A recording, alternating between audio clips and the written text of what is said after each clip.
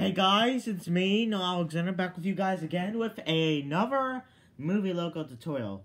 Now, this one wasn't really on Vipid, but Vipid was going to do a Paramount, but I think they kind of left that one behind. But I might teach you guys how to do a Paramount logo tutorial. So, yeah, my first time, excuse me, my first time doing this. And we want to go, um, yeah, that was easy enough. Okay, so you get to the text of Paramount. You want to erase that. And then you want to change it to your own text.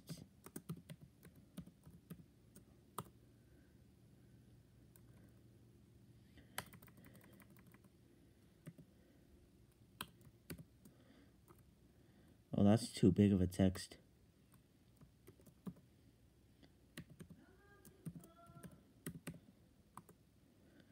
Not fit enough. Okay, I'm just gonna do it to no one else.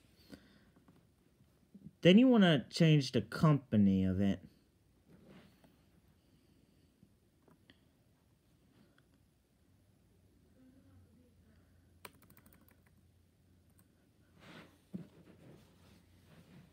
How about I do it a a me company?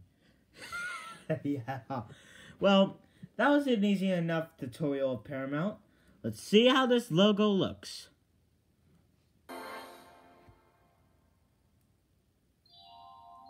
Alright, little stars.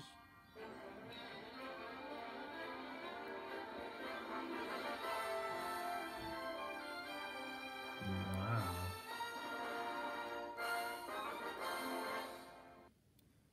That was actually pretty good. Yeah, I haven't really seen a lot of Paramount movies, except for some of the SpongeBob ones. But really, I haven't seen any Paramount movies from the 90s or the 2000s. And I don't have a lot of Paramount media either, but I'm glad I'm giving you guys a tutorial for this. But anyway, thanks for watching. Um, I was going to try to do a TriStar Pictures tutorial, but unfortunately, um, no logo will be able to do that. So, unfortunately, I did not do that. But other than that, I'll see you guys later. Peace. Later.